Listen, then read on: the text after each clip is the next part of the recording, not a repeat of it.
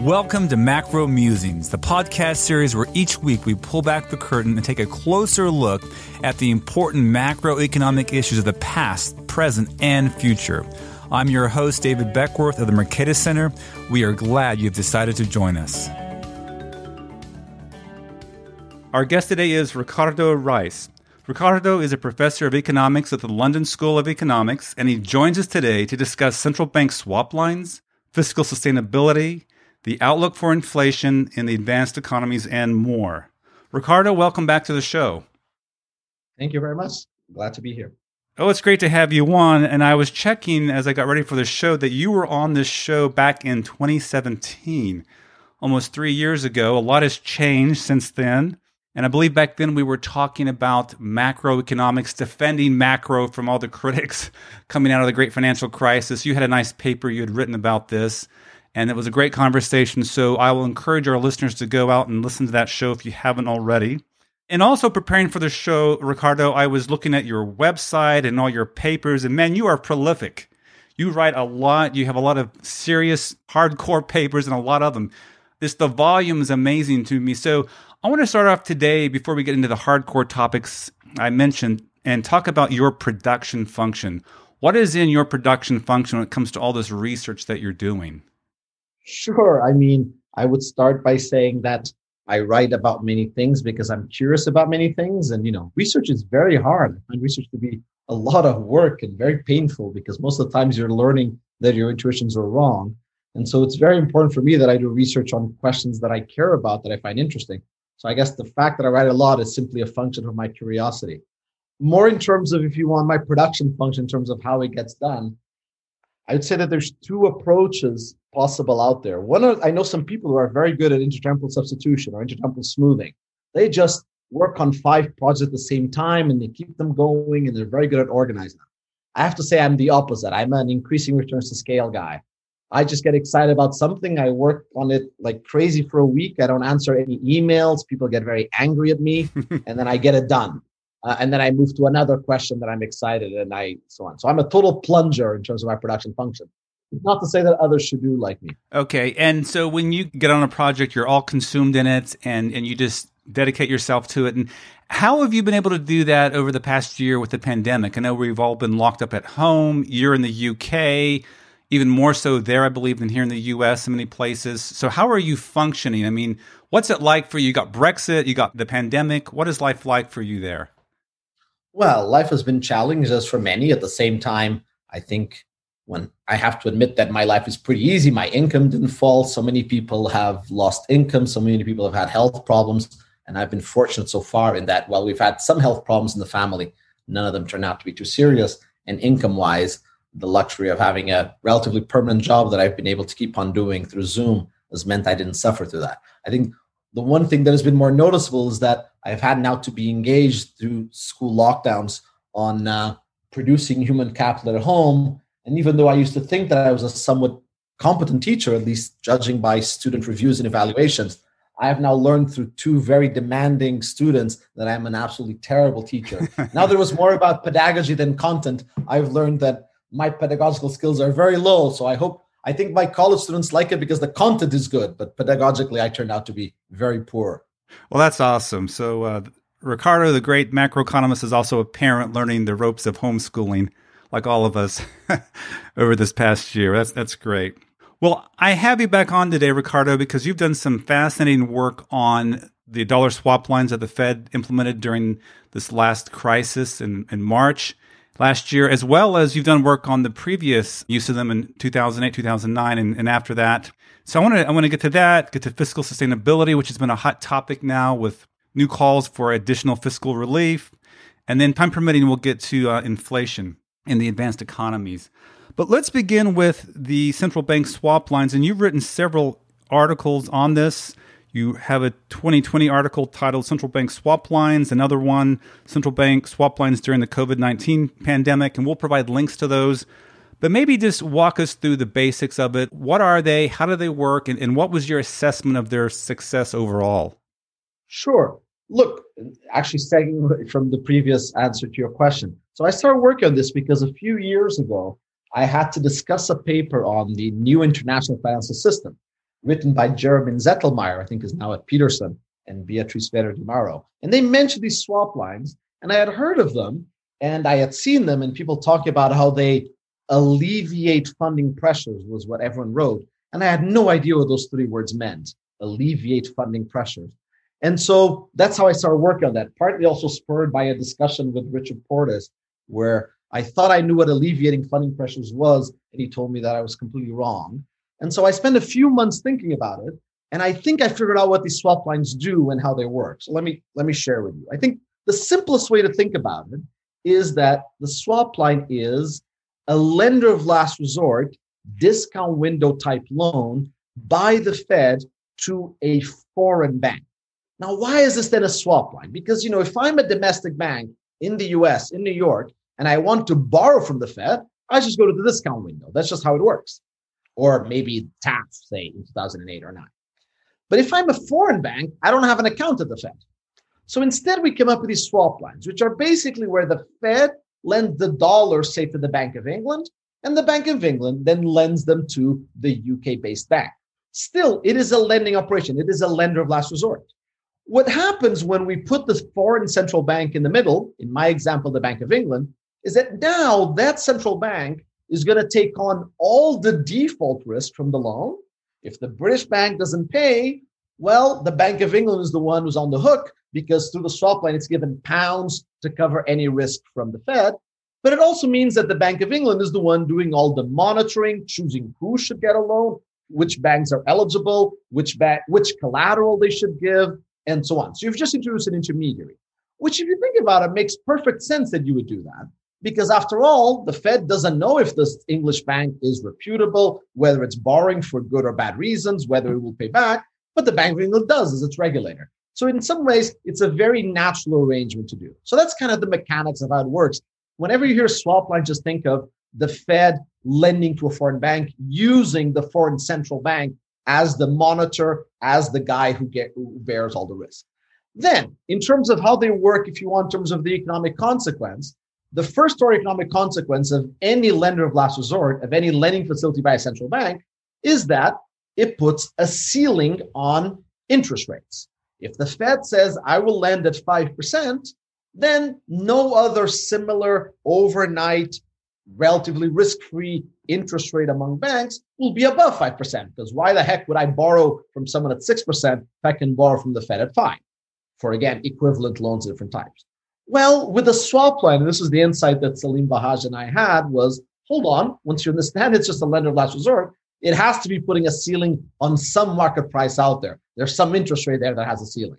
And what we figured out in showing that paper is that that ceiling is on the cross currency basis, also known as the covered interest parity deviations. Why?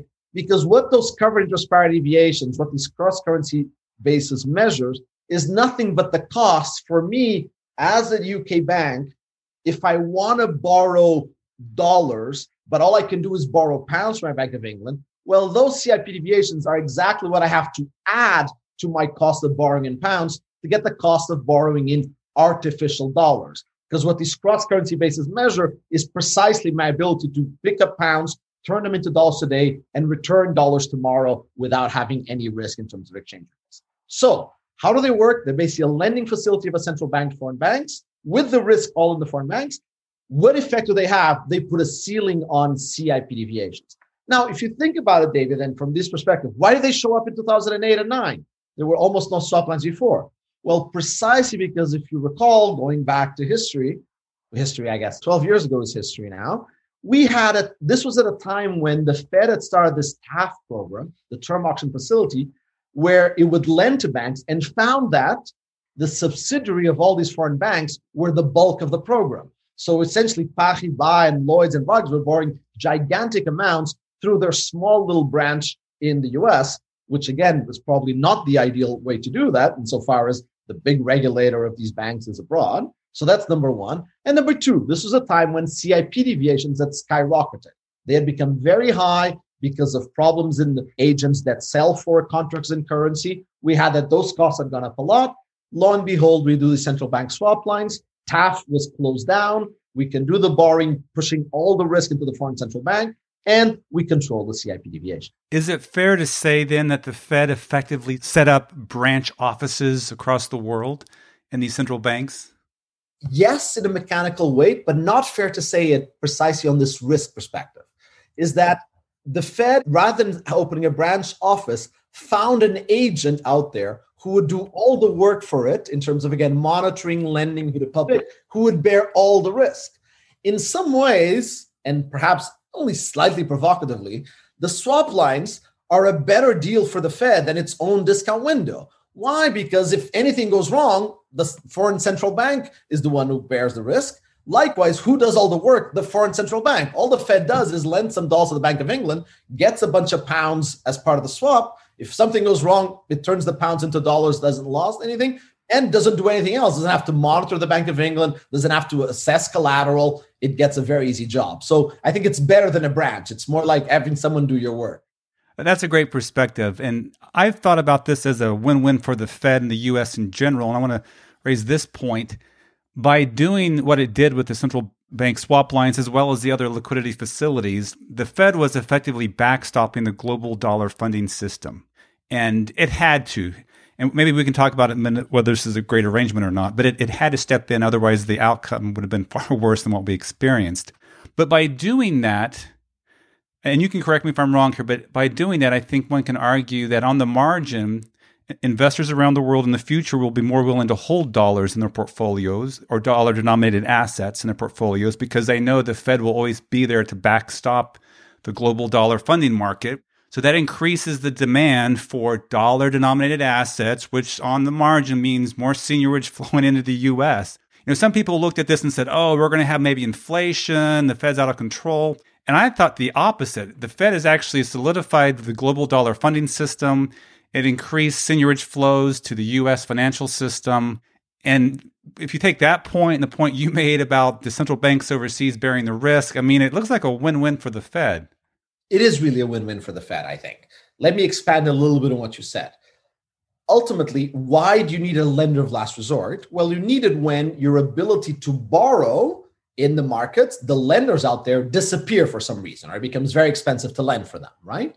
And so, why again were these swap lines important both in 2020 as well as all the way back 10 years ago? Precisely because this was a time when these money market funds 10 years ago that usually lend dollars all over the world stopped lending them or simply withdrew some of those loans and made that credit hard. So it was hard to get a dollar loan. And what you had was you had a lot of international investors then and by the way, still now, they borrow heavily dollars from US money market funds to sustain their operations. And so, yes, what you said is, I am now much more comfortable borrowing in dollars because I know that lender of last resort, if the market isn't there, the bank isn't there, I can always get it from the Fed via my central bank. That gives me a lot more certainty in being able to conduct all operations. But moreover, let's look at the other side, David, which is why do you borrow in dollars? Well, many cases because you want to make investment in dollars, right? You're borrowing in dollars, sustain operations in dollars. That is, you wanted to buy dollar assets. And actually, what I found in the second part of this paper that I wrote with Saleem was that we looked precisely at all of these foreign banks, how much they were holding of US assets. We had very good data on corporate bonds. We wish we could have done MBSs because those are so important. But at least in the corporate bonds, we could do, I think, a pretty good job identifying the effects. And what we found is that by setting up these swap lines, and in our case, by making them a little cheaper, what the Fed did was prevent sales of corporate bonds. We see big effects on how much these UK banks were willing to buy US corporate bonds, hold them, or since 2010, sell less of them. If, in other words, in 2009 and 10, the Fed prevented the fire sales of MBSs, corporate bonds, and others that were happening in the press in the US financial market precisely by providing this backstop lending. And so, one, you've encouraged others to use your dollar, dollar point, but two, you're protecting your financial your domestic financial markets from a fire sale in a crisis, which is exactly why we have lender of last resorts in the first place to prevent those fire sales domestically. But now we have to take into account this foreign dimension. Finally, and still along the lines of what you said, well, if the Fed, in many ways, I think it is a win win. But what about the other side when we look at the other foreign central banks? And here, there, it's a little less clear because ultimately, look, what you are doing by offering these swap lines is encouraging your UK bank, in the case of the Bank of England, to indeed, hey, let's invest in dollars and borrow in dollars. But of course, when problems come, you, the Bank of England, is the one who has to deal with these banks. And when they get into some trouble, you're encouraging them to bear and create exchange rate mismatches in their balance sheet. You're potentially leading to mismatches in your financial system. And at the same time, like you said, you are supporting dollar dominance because you're allowing the dollar market to work. Although, there, I wouldn't say that's necessarily a loss for the UK or a win, but at least it's more of a win win for the others.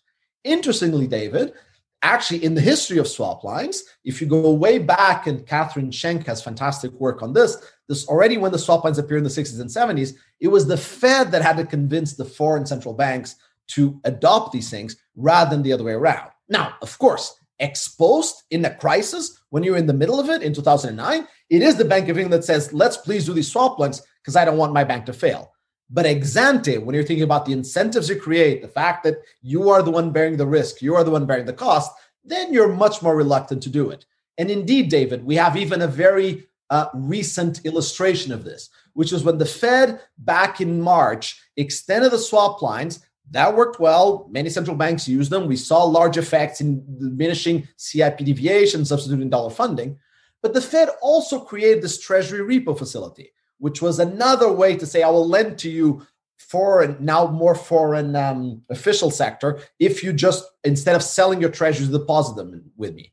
And what did we see? That was essentially, that was a swap like new facility in the sense that it's another lending facility with slightly different features and what do we see in this FIMA repo facility is that the foreign institutions this time said, thank you, but no thank you. And that was barely used. And in that case, the Fed was not able to convince the others to use that. At that point, you are trying to stabilize not the corporate bond or the MBS market, but the treasury market itself. So that's interesting, Ricardo. So from the U.S. perspective, it is a win-win for the central bank, for the Fed, but for central banks overseas and advanced economies, it's a little bit trickier. The costs are a little more pronounced. And l- let me segue into another observation and question related to this that you've touched on, and that is, you know, the the dollar swap lines were part of a broader liquidity response, right? We had primary dealer credit facilities, commercial paper facilities, money market facilities. All of these attempts were to to stem a, a run on what I'll loosely call the global shadow banking system or global dollar funding system, right? And so I've had guests on the show who don't like that. They don't like the fact that, you know, we regulate the banks in the US, they got to have certain capital requirements, they have FDIC, but then you get these shadow banks around the world overseas, maybe even some US that have branches overseas. And it's a workaround. And, and the, the reason they don't like it is because it, as you said, it encourages on the margin more dollar holding, investing and therefore more susceptibility to a run in the future. The more dollars are used, then the more you're going to rely on the Fed. And, and you know, unless you get some new Basel arrangement where you can go after shadow banks, it's really hard to see this path going any different direction. So, should we be worried that the Fed is so effective at doing this? I'm not sure. Maybe. I mean, it's true that the Fed and the dollar through these and other actions has a very central role in the global financial system. Okay. Now, you may say, well, but that means that maybe the dollar is too dominant and that makes the world fragile with respect to the dominance of the dollar. Maybe. But as always in economics, you have to ask yourself what the counterfactual here is. If it wasn't for the dollar, what would we have? I've always found quite uh, convincing the work by the late Emmanuel Farhi with his co author Matteo Maggiori, where they looked at what if the world was instead a multipolar world with some dollar bits and some renminbi bits and some euro bits, and we had more of a segmentation. And is that a better world than the dollar dominated world?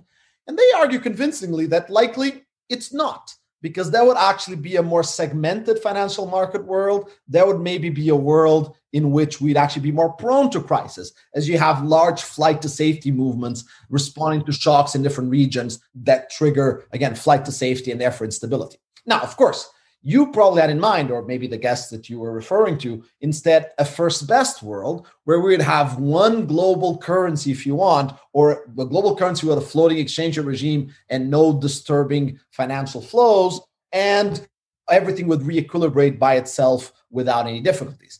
But If instead you take the counterfactual being, like I said, different regional blocks, then it's much less clear to me that this is necessarily a bad side. There is one thing, though, that I would highlight or at least add to your uh, criticism of the current arrangement, which is, as I said, it's a win win for the Fed, but partly because it's lending relatively small amounts relative to its balance sheet to, let's say, trustworthy foreign central banks. And importantly, that it's taking as collateral this foreign currency such that the chance of default are essentially close to zero. The Bank of England would not default on the Fed. Even if it did, the Fed would have all these pounds, and the pound dollar exchange rate doesn't change that much, such that the dollar, essentially, the Fed would almost never, ever lose any money on this. But of course, the question arises but what about India? Or what about South Africa? Or what about some other country? The Fed has not had swap lines with these countries. Why? Potentially because it thinks that here the credit risk is higher. That has meant that we have enforced a certain segmentation where now, if I'm a South African bank, what am I going to be doing? I'm going to open a branch in London so that I can access the swap line of dollars via the Bank of England these segment, or if not the branch, like you were saying, an intermediary. Now, Lloyds are going to be borrowing the dollars from the Bank of England, not for its operation, but to lend to the South African guy. And then again, whenever you create these segmentations, you are creating potentially arbitrage opportunities in the sense also of things that lead to flights to safety that are dangerous.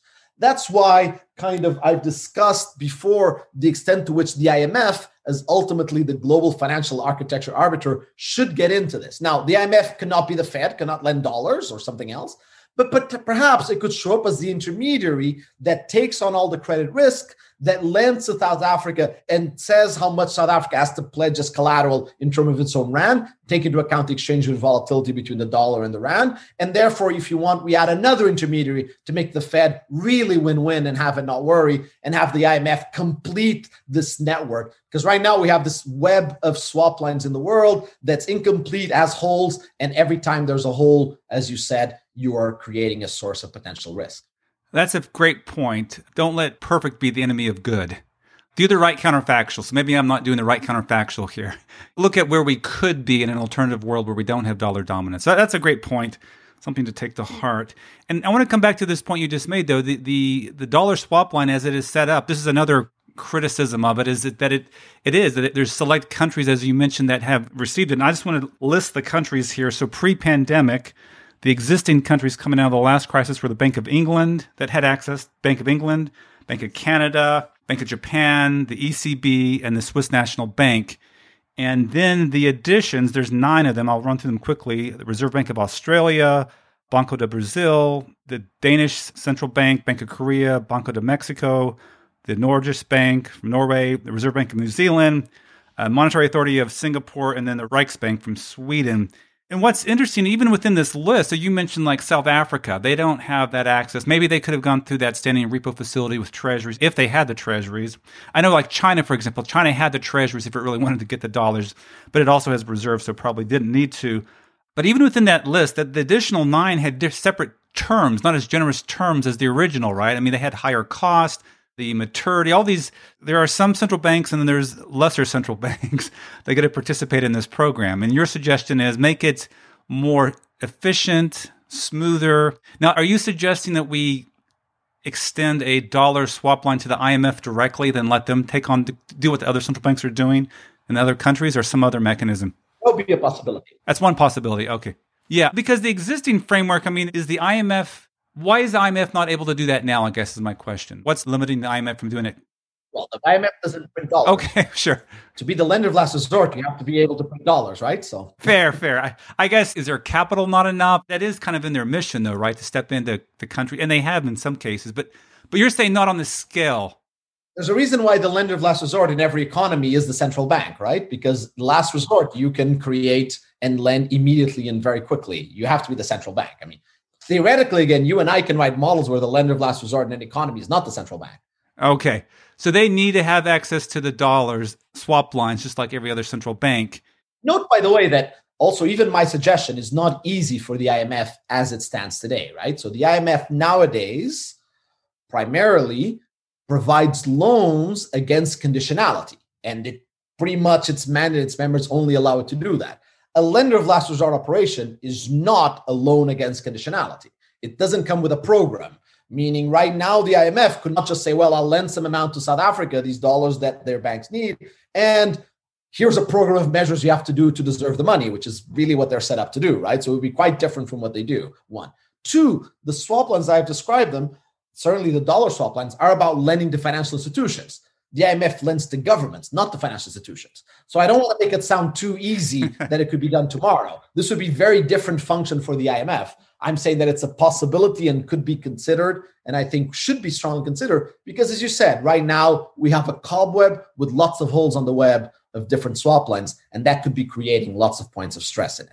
So this could be the future of the dollar swap line going forward. Extend the network, patch the holes, and uh, make it more efficient.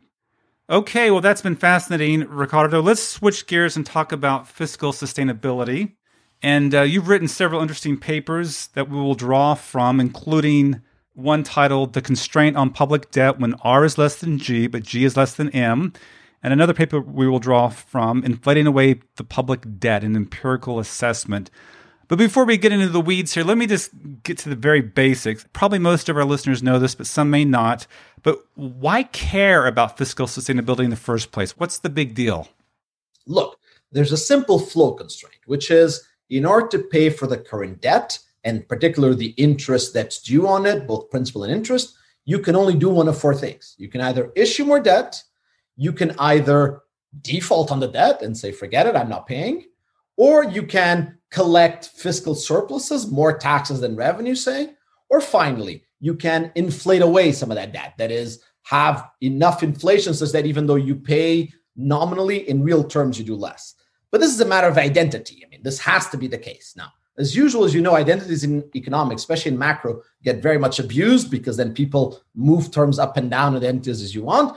But at the same time, they are still important. They are still there. Okay. And these identities are there. Now, when it comes to the rolling over the debt forever, you have to realize that you can only roll over the debt forever insofar as you have a sucker on the other side who's willing to let you run the Ponzi scheme. You have to, after all, reward the holder of the debt for them to be wanting to wanting to lend to you. Okay. And so the sustainability question is always ultimately that one. The sustainability question is to what extent are people willing to keep on lending to you, especially since governments have debt coming due every single month, or certainly and in, often in very large amounts, given that they have relatively large volumes of debt and relatively short maturities. And so as a result, sustainability is ultimately always a question of can I have someone who's going to keep on rolling over the debt? And then it becomes a relevant question because any person, not any person, most people outside of the US have lived in countries where at some points you had a fiscal crisis, and these were not happy affairs. If at some point the creditors, whoever they are, the massive creditors in the world, stops wanting to roll over your debt, then usually you find yourself in dire straits in that in either you have to default, be excluded from financial markets, and go through a very prolonged period of very strict austerity, or initially you do austerity right away by raising taxes, cutting spending in ways that are often, because they have to be done very quickly, are very distortionary, very painful to several groups in your population. So ultimately, sustainability is about avoiding unexpected, sudden, and costly austerity, which of course leads you to the usual economist on the glass half full, glass half empty on the one hand, on the other hand some austerity in the sense of some fiscal responsibility now is nothing in order to guarantee fiscal sustainability is nothing but the way to prevent very painful very sharp very distortionary austerity coming through a debt crisis. Okay let me play devil's advocate here. Let's take the us view. You mentioned all the other countries of the world. I'm going to take a very us centric view here. I mean what's the worst that could happen? I'm going to play in fact not devil's advocate mmt advocate here okay they would probably say worst thing that would happen is we have higher inflation. We don't outright default. We just you know, monetize the debt in some form. And so why worry about that? Why why get choked up? I mean, we haven't had high inflation since the 70s. If anything, we've been having low inflation. So convince me, I'm a young millennial who's all eaten up with MMT. Why should I still care about fiscal sustainability? Let's focus down on inflation only, okay? Since you raised that one. So let me give you two part, a two part answer. First of all, how much inflation do you need to pay for the debt?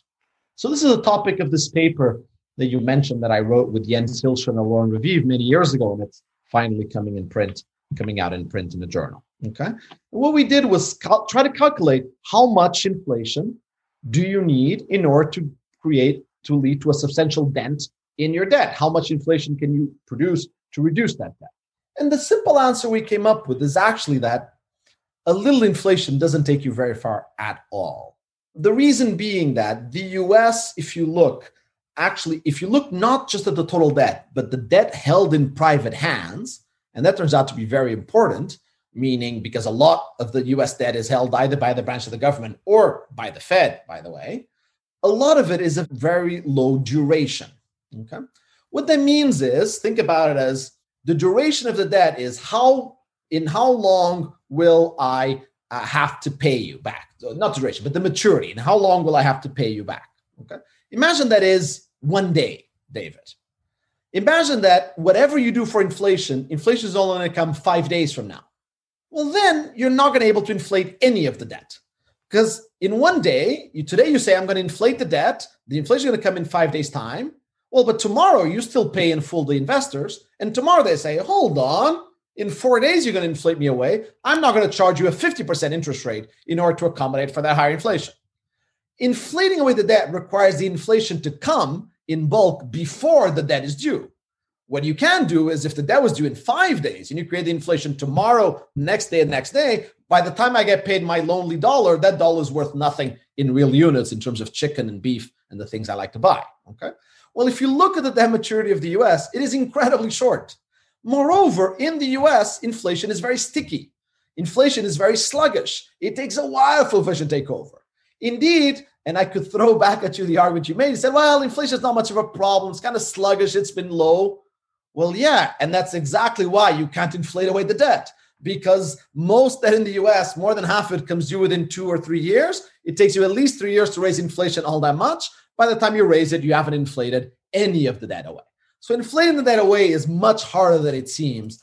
And actually, if you look at the historical record, David, what you end up finding is that even outside of the US, but also including the US in the 70s, by the way, whenever there's been some significant inflation of the debt, it came with financial repression, understood. And let me, financial repression is often a term very widely used in many ways, but let me tell you the way in which I'm using it here. Financial repression means nothing but forcing institutions to lend to me long term, even though they wanted to lend to me short term.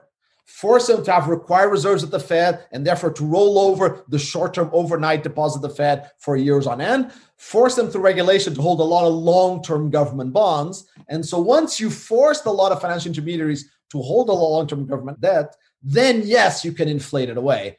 By the way, then, as in the 70s US, they of course going to pass it to the depositors and to poor depositors who are going to be the ones that get inflated away. So that's the first answer. Like if you want to inflate away the debt, just realize that it's not so easy and almost always comes with financial repression. You're going to have to force some guy out there to hold the debt because he's going to be running to sell it before the inflation comes. And the sluggishness of inflation is not going to allow you to do much of it. So that's the first argument. The second point, and once you embrace this first one, is to realize that not only inflating away the debt comes with repression and is difficult, but moreover, if you're able to achieve it, it comes with quite a bit of inflation. Of course, David, everyone, I can very easily tell you that the right level of inflation is exactly 5.7%, whereby I would just be able to trade off Phillips curve trade offs and indexation trade offs and get just the right amount of debt inflated away.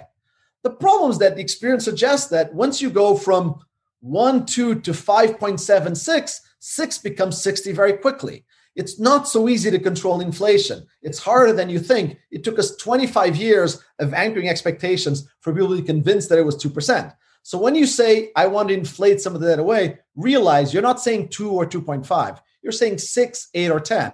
And the road from 10 to 100 is a very, very fast one. Why? Because part of the reason why we were able to control inflation at two was because we spent 20 years telling people two, two, two, two, two, doing everything it takes to do two, two, two, two, two. And people's expectations have anchored at two. If now you say, oh, let's have a couple of years of eight, but don't worry, we'll get back to two. Well, let's see if that happens, or whether expect people start thinking, well, now that he said eight once, it's going to be 20 and 25 and 80. And then the whole thing then comes into a hyperinflation, including possibly in the US. Those are all great points, and it creates an image in my mind. There, there's like a dashboard of policy levers And maybe the naive impression is there's this lever called inflate away the debt, but you're saying that lever doesn't exist. It's broken, it's cumbersome. If anything, it can blow. Th- it's much smaller than people think. Yeah, it's much, much harder. The other point you brought about financial repression, I think that's another great point that there is no free lunch here. There's a cost one way or the other that's going to be incurred if you try this route out. Now, I bring this up because I can hear the popular MMT view listeners out there responding and saying, hey, we'll just get the Fed to start controlling the yield curve. We will have the Fed start issuing its own securities or doing some kind of yield curve control so that it suppresses all the rates. And that way, you know, we can do, we can continue to, to function. But I think that what you're arguing is that's financial repression one and two, inflation will still take off. You can repress as much as you want, you still get inflation.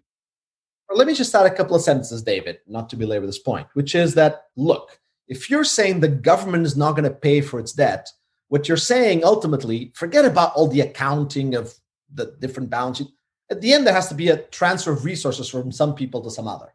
That is, it has to be that the ones who lend to you are not the ones who lent you are not going to be paid back. They're going to be sending you something back. Now, when you come to the US, on the one hand, people say, well, we're the US. Why don't we do this? Let's let the bondholders, let's extract resources from them, real resources, right? Forget about money. Again, we're talking about real resources here. Well, but in the case of the US, again, what you're saying is A, a lot of those resources, who are the bondholders? Either the foreigners. So what you're really saying is, hey, let's just tax the foreigners to pay for our deficits. One, I'm not sure that again, if you have an equitable view of the world, you would say that it's that the richest country is getting paid by the poorest countries in the world. I'm not sure that's something that would be consistent with at least a uh, utilitarian, if not fair view of the world. But second, those foreigners don't owe you anything. They're going to sell as fast as they can, and they're going to try to get away from this as fast as you can. So when you talk about repression, control here and there, just remember on the other side, those guys are going to withdraw. And second, when you're talking about the domestics, Again, note if I'm saying that you, David, US citizen, are now, as a bondholder of the US, you now need to transfer to the US your resources. Note that the alternative to this is the US government would come and tax you for your resources. Why do you object so much to one and not so much to the other? You may argue, and some say, well, but I like the redistribution side of it. I like to tax the bondholders instead of the people or the taxpayers. But here again, be very careful because decades of studying economics will show you that when you try to do these things indirectly through distributions, what you find is that people adjust, markets adjust, and you often end up with the poor people suffering, the ones who can adjust the less. Look again to the 1970s inflation, where sure you could say, well, it was those rich, fat bondholders that lost. No, it wasn't through regulation Q, it ended up being inflation being the cruelest tax. It was the poor people who could only save in checking accounts, which had a 0% interest rate, that suffered with the 8 and 10% inflation in terms of negative returns on their already small savings. So be careful with unintended consequences of trying to extract resources from different groups in your population. At least taxation is transparent on who you're taxing. No, I, am very sympathetic with everything you said there. I'm just trying to play the devil's advocate here if you look at the polls from the 1970s, I've, I brought this up on the show before, and I, have looked at it because I interviewed a guest who mentioned the number one concern in the 1970s was inflation. Not the whole period, but at different points of time. If you look at, at the Gallup poll, it was more important than other big issues. If you look at like at a history of the U.S., you look at the 1970s, you see Watergate, Vietnam War, but the poll shows the number one issue was inflation when it was surging. People were really concerned. It's almost like an alternative universe when you, you look at people being so concerned. So I, I think it's it's a real issue that it's easy to take for granted, maybe given where we have been during this time. So, Ricardo, I think, you know, also what's driving this conversation is kind of, you know, what's before us right now. And this is, you know, calls for more fiscal relief under the new Biden presidency. So 1.9 trillion. I mean, depending on how you measure, it's 9, 10% of GDP. We have debt already at, at 100% debt to GDP ratio. So this is, has some people concerned. I think if you take a standard view, and you mentioned you, I think you just described the intertemporal government budget constraint when you're talking about flows and stuff. When you think through this, it, it does make you worry at some level, or at least you need to think about these issues. How far can you go? And and I, I think it's important. And again, the skeptic might say, okay, Beckworth, that what is the market telling us, right? If you look at treasuries today, the 27th of January, you know, 10 year treasuries down to 1%, break evens are really low. So the markets themselves don't seem terribly worried about this Biden, you know, assuming they've priced it in already. They're not terribly concerned about the Biden proposal. So maybe we should walk through the tools we have in kind of in mainstream macro to think through this. So you have this paper where you talk about R versus G, which is a standard metric, but you also bring in M, which is the marginal product of capital. So maybe walk us through how to think about these issues carefully and with nuance so we can come to the right conclusion. And you also have some interesting insights you draw from this paper, but maybe walk us through kind of step by step how we should think about this issue. Sure. Let's do this in over three steps. Step number one, which is one that is, I hate using the word consensual among economists, but let me say at least one that seems to me to be a strong case that has been used and should have been used. During an emergency like we've had in the last nine months and probably for the next six months, governments should, and I say should, borrow heavily. They should borrow heavily in order to provide the social insurance that is needed for the many people who have suffered tremendously with this recession. They should borrow heavily because private markets, in response to this aggregate shock, make it very hard for privately all of us on aggregate to borrow from the future, which is something that governments can do very well. And we should borrow heavily because that is the right way to be able to smooth also the large expenditures that we're having now, and in order to be able well, in order to be able to keep us going. There's even a fourth argument why you may want to borrow heavily, more of a Keynesian argument, but in a very valid one, which is, you know, if you're a macroeconomist and our field was born during the Great Depression, what was the very big insight that John Maynard Keynes had was that if you see that people start increasing their private savings a lot, he called it animal spirits. After 100 years of economic theory, we call it instead because they're afraid of the future, because of precautionary savings, because of the scars of the recession and not. Well, when you see this very large increase in private savings, you have to be worried that we're going to be stuck in a depression. The right way to respond to a huge increase in private savings is to have some public dissavings. And the last six months saw an enormous, unprecedented increase in the savings rate in the US. Now, you may argue that was because we were locked at home, couldn't spend, and so we're going to dissave it right away in 2021. Nothing to worry about, Mr. Keynes. Go back to the grave. No Great Depression coming. But you have to put at least some probability that people are doing this because they're scarred from the recession, because they're afraid. And avoiding the Great Depression is the number one job of any macroeconomist. You should definitely run some deficits now for the Keynesian reasons. So there's a lot. I gave you four reasons why we should be running a deficit, a large deficit now, like we did. Crucially, though, these are temporary deficits. Okay. These are temporary deficits. And moreover, and that you're going to be able to pay over time. And this is where this R minus G comes up. You're going to be paying them on the one hand at the rate R, while on the other hand, your economy itself is going at the rate G, making the burn of that lower. Now, because over the last 10 years, R has been falling, we think because of global factors having to do with demographics, having to do with secular stagnation and others, what we have is that the R has been falling. It's become in particularly cheap and easy to do this transitory spending and to pay it off over a long horizon. And so doing that seems just right. And that's the first part of the answer. Absolutely go and run very large deficits in 2020, maybe 2021. R is low. Let's pay for it over the next 10 years. And that's many ways the right thing to do. But now, second step of the argument, what you see, and what you see already in many books being sold very popularly in, I guess, not airports, but in Amazon and others, is a combination of proposals for increases in permanent government spending, not temporary, but permanent. Meaning, oh, here we are, a crisis, a chance to change things and to pursue a different kind of society, a different kind of government, a different kind of safety net, whatever you want. Okay? When it comes to permanent spending, the argument is not quite the same. When it comes to permanent spending, R minus G matters only insofar, and this is where the M comes in, only insofar as for some reason people are willing to lend to the government at a rate R that is lower than the rate that they would get if they invested in the in the economy, which is what you call M, let's say. Okay. Now, insofar as people are willing to lend to the government cheap less than they are willing to lend to others, controlling, of course, for risk, maturity, and all those kind of characteristics, insofar as there's a gap between R and M, what that's saying is that the government, by selling government bonds, is satisfying some demand. Well, if it's satisfying some demand, what does R minus M give you? The payment that it's getting de facto for that demand.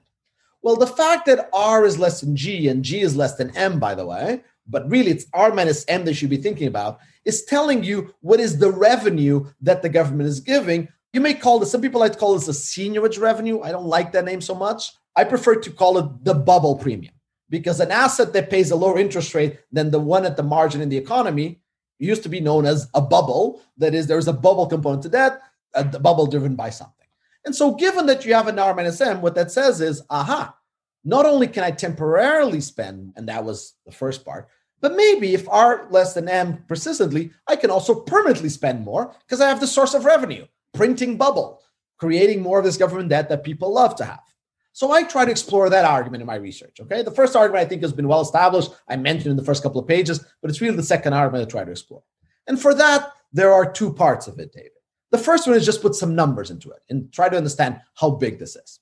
And very quickly you realize, and I did some back of the envelope here that I'll share with you, which is simply look, there is a limit on how much debt there is, which is given by the total amount of assets in the economy. You know, in the end, the debt has to be held by someone, and that person is either consuming, buying debt, or having income. That's a, just a constraint. Okay. Well, at best, we can see the debt to GDP of the US going up to, I don't know, 300% of GDP, which is the total assets of total assets in the US net are roughly 300% of GDP. Maybe that could increase, but it can't increase that much more. Well, with an R minus G of 2% and with 300% debt, then you end up with a 6% persistent deficit that you potentially could run. Again, this is in the absolute limit, David. There's, we all have no firms, no capital stock. All we do is put in the debt. And we have a 6%, right? Indeed, I actually argue that 5% is a better number. Well, what is the CBO projections before 2020 for the deficit in the US all the way to 2050? 5% already. So all of whatever bubble R minus G, R minus N existed, we already spent it in the last 10 years. So there's nothing new about this in R minus M that says, oh, now in 2021, I can completely reconfigure the government and exploit my R minus M revenues. So that's the first point that I try to make. Work through this, figure out that the R minus M, sure, it's even if, well, let's say it's there, but let's not also get carried away with it. But then the other part is, okay, but if you are going to try and exploit it, then you have to start thinking of, well, but will this R minus G minus M persist or not? What's driving it? You need ultimately a model of where the R and the G and the M come from. Okay. Because one, if you try to exploit it too much, what if it disappears? What if the R switches? And then both the permanent and transitory come at heart. By the way, David, in 2020, R minus G was positive 2%. It was not negative because remember, G was really low this year. So this R minus G, let's not get too carried away. After nine years of R minus G being super negative, actually was super positive. So let's see what happened. And remember, and the 10 year rate in the last six months has gone up by 60 basis points. So let's not get also too carried away on relying on R minus G being less than zero as a law of nature. Okay. But anyway, but let's try and endogenize it. Let's try and model, let's try and see what drives it. What are two of the main stories of why R, why there's this bubble, why there's this service that the government debt provides? One of them is to say, look, government debt provides a safe harbor. There's a lot of demand for safety. I have a lot of idiosyncratic risk in my investments, my life. The government provides me one of the few, maybe the only truly safe asset I'm willing to earn very little return on it to pay a high price for it in order to get that safety. So that's one argument. The second argument is a very old argument that, for instance, Olivier Blanchard exploited in his presidential address, building on work by Peter Diamond many, many decades ago, which is liquidity. Government debt allows you to transfer money, transfer resources over time in a way that our overlapping generation structure of people makes it very hard. And so maybe it's actually this liquidity of going into the future, or simply because private assets don't provide me enough stores of value for me to efficiently transfer liquidity. And so I try to think through okay, if it's safety and liquidity, can we make sense of why an R minus M emerges? And again, R minus M is really the key thing, not so much the R minus G, because that's what determines these bubble revenues, and what could potentially affect them. And when you work through that, you end up again with kind of the nice thing about writing models or economic theories that you come up with some perhaps unexpected predictions, or which, of course, once you write the model, seemed obvious to start with. Let me tell you an obvious one just to link back to the inflation before. What happens if we start discussing, let's inflate away the US debt? Well, the more we start discussing it, the more we start admitting it, the more we start saying that's a possibility, that makes the US debt less safe. But if it makes the US debt less safe, that hurts precisely the main source of the R minus G. It means that the R minus G will turn on you temporarily and permanently and therefore make you worse off. So in that sense, it says this perspective of the minus G tells you, please don't talk about inflation. Please don't consider it. All you're doing is making US debt riskier. But here's a second one that perhaps is uh, slightly more shocking, more provocative, but that's what economic theory is for, to kind of get you to think things. If you think through the, the liquidity instead, you think of, well, financial markets are limited in their ability to provide liquidity. This is why government debt is there for. So here's a simple exercise or a provocative exercise to be taken not too seriously, but again, because it forces you to think through the R minus M. So this is not a policy prescription of any kind. But think about it. On the one hand, imagine that we were to redistribute, take from the rich and give to the poor. And imagine you think that what do financial markets do? Well, ultimately, they're ways for the poor to put their meager savings at the disposal of perhaps the more productive or whatnot members of society so they can invest them and get higher returns and higher income, right? Well, if we did some redistribution, then you would ask the private financial markets to be doing more of this burden. But if you're asking the private financial markets to be doing more of it, less of it will be done by the government. And in particular, the M minus R will need to use the bubble debt government debt component less because we're going to be having the private markets do more of this reshuffling of liquidity resource society. So then if we do that redistribution, what we're doing is we're actually reducing the R minus M and therefore making the bubble premium that the government collects lower. But that means that now the government can spend less in total. Well, that leads to a very nice trade off, which goes back to something that I learned from my also sadly deceased one of my um, graduate advisors, Alberto Alesina, which is you can have a trade, you can have a, a polarization, or if you want to fight between two sides of government. One of them cares about the size of the government, size of spending. They want a big R minus M. They're okay with having a very unequal society if you want, because that generates, again, this gap. The other one wants a more equal society, but that more equal society also means less bubble premium and less total spending by the government you end up with an opposition between those two because precisely these policies affect where that R minus M comes from. And that's sorry for the very long answer, but that's how thinking through the R minus M, rather than taking it as given, can lead you to surprising conclusions. You may like some of them, hate some of the others, but before you go and say, let's finance a whole new government, a whole new view of society based on R minus M, Let's think about what determines it, how different policies can affect it, how much can come out of it. And that's what I try to do in this research. So just to restate that, in a world with less inequality, more more equal outcomes, R minus M's government debt will play a lower role, and therefore R minus U will be smaller. Yeah, so the bubble shrinks, and the private sector is taking some of that and using it in, in this process. So I know you said you don't like the term seigniorage, but if that R minus M, if you call it roughly, it's effectively the private sector is taking that seigniorage and using it to its and because I call it bubble premium instead of seigniorage because seigniorage tend to be associated with central banks, and so I find that confusing. We can call it seigniorage, yeah. Yeah, yeah, yeah. No, that, that that's very interesting and pretty, uh, I think, powerful result to think through. There's always trade offs. I mean, there's no free lunch. Again, let me ask this question then. So, I think implicit in what you're saying is that there's an alternative to government debt, right? That if it's no longer risk free, I mean, the first scenario, if you try to inflate it away so it becomes less of a, a safe asset. So here's the challenge I haven't seen all, that all the way through. I agree at one level, but then I look at and I ask this question well, what's the alternative to US government debt out there? So if you're an investor and you, you begin to worry about them, and I would say, just in general, going back to our earlier conversation, what's the alternative to safe dollar denominated assets? Because it is U.S. government debt, but there's also some private financial assets that we export that people, you know, bank deposits, commercial paper. Where would these investors run to? I mean, realistically, because that's a huge number.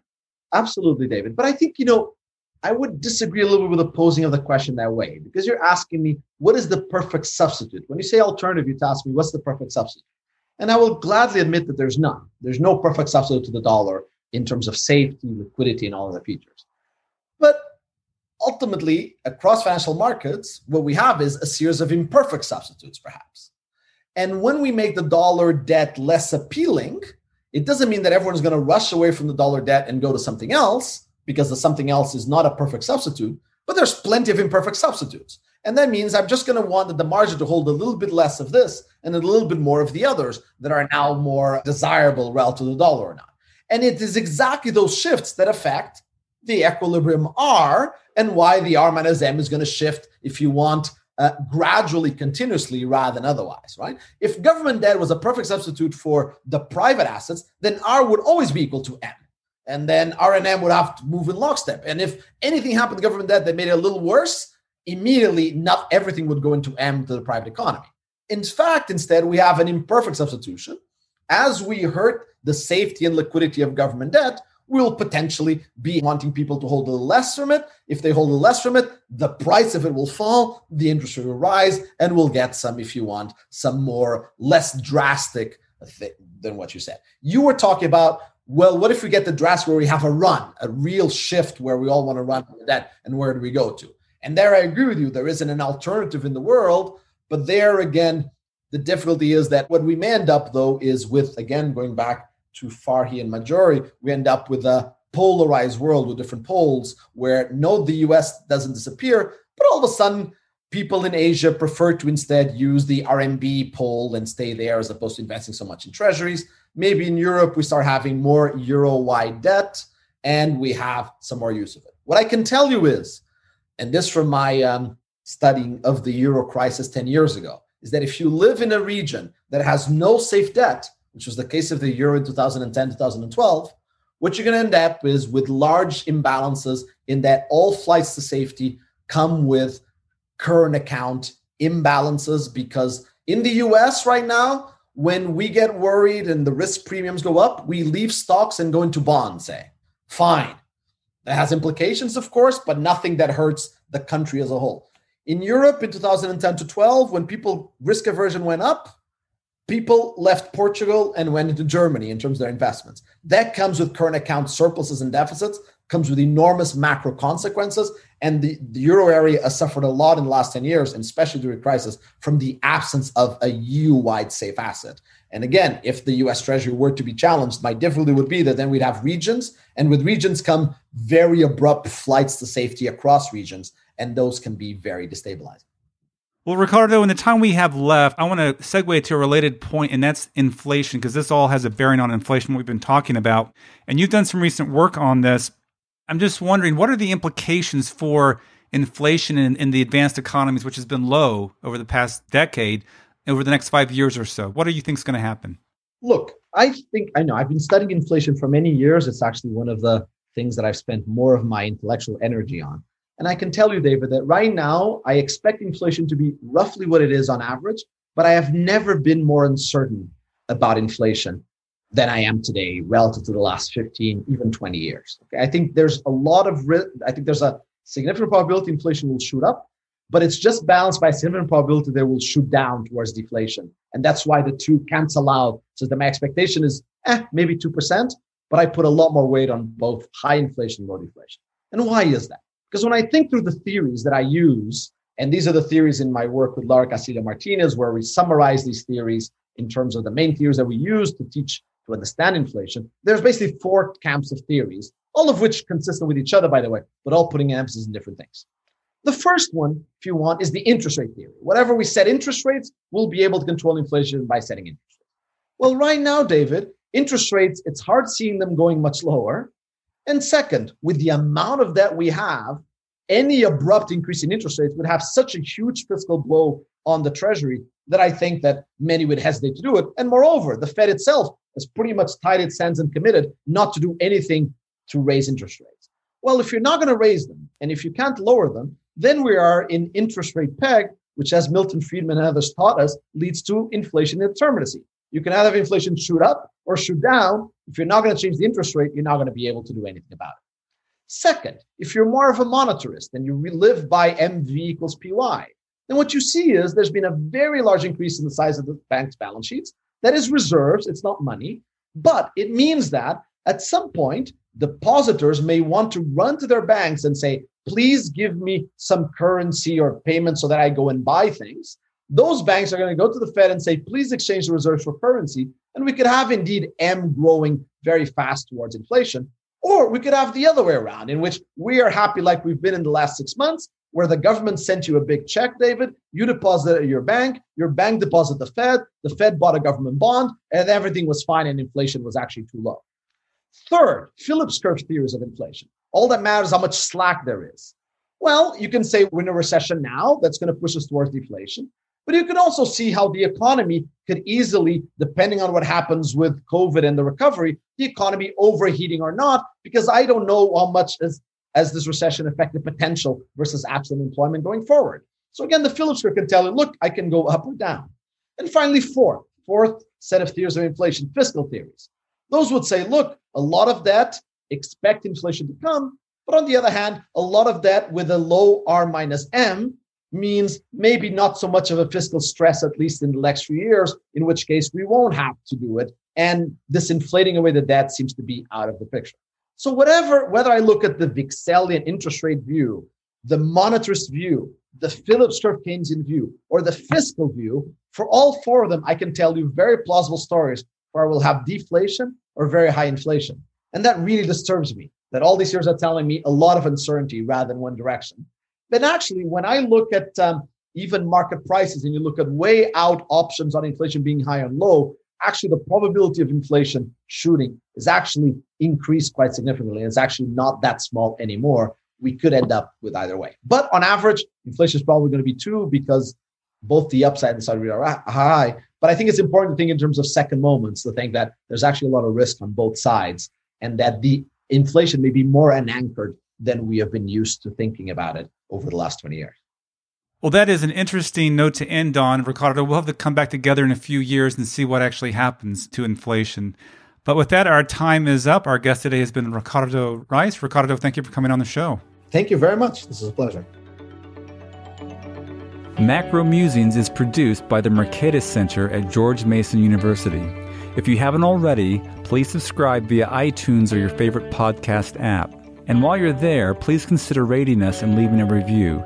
This helps other thoughtful people like you find the podcast. Thanks for listening.